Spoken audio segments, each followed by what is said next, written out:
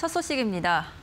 국내 완성차 업계가 차량용 반도체 수급 부족으로 내수에서는 울었지만 해외 판매에서 만회하며 안도의 한숨을 내쉬었습니다. 자동차 업계에 따르면 현대차, 기아, 기아, 한국GM과 르노 삼성자동차, 쌍용자동차 등 국내 완성차 5개사는 지난달 총 65만 7,547대를 판매하며 전년 동기 대비 15.1% 증가했습니다. 지난달 내수는 13만 4,761대로 전년 동기 대비 23.6% 감소했습니다.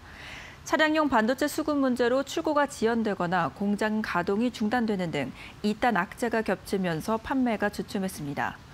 반면 해외 판매는 지난해 코로나19 기저 효과로 인해 전체적인 상승세를 보이며 지난달 전체 판매량을 견인했습니다. 지난달 5개사의 해외 판매는 총 52만 2,786대로 전년 동기 대비 32.5% 증가했습니다.